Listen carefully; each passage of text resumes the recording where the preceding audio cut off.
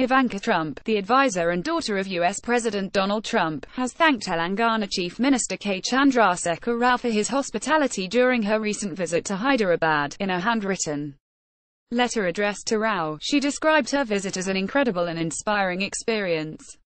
Last month, Ivanka Trump led a delegation of U.S. administration officials and entrepreneurs at the Global Entrepreneurship Summit GES held here. Prime Minister Narendra Modi also hosted a gala dinner for her at the famous Falaknuma Palace Hotel in the city. Ivanka Trump, in her letter to the Chief Minister, said she was touched by the warmth of the people of Telangana.